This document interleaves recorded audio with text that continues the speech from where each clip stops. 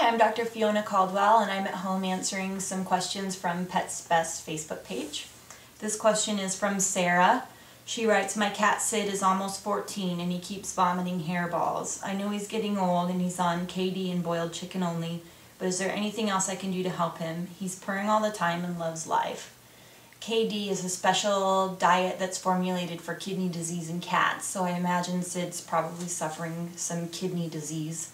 I would make sure that his vomiting isn't actually related to progression of his kidney disease and really is related to hairballs. If he hasn't been looked over by your veterinarian recently, you, you might want to look into that. If it truly is hairballs, you can try grooming him. Brush him daily. That'll help get some of the hair off so that he's ingesting less and therefore throwing up less hairballs depending on how long his coat is uh, and what his temperament is, you could consider shaving him as well. Some cats hate it and sh shouldn't be shaved. Other cats don't mind it.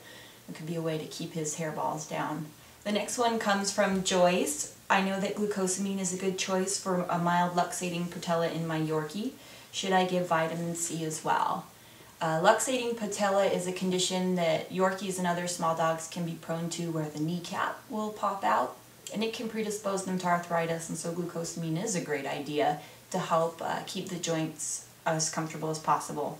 Vitamin C probably wouldn't necessarily help with arthritis. There has been some evidence that things like omega fatty acids and other uh, antioxidants can be good in general. It's probably not going to hurt to give vitamin C, but it's not necessarily going to help with a luxating patella.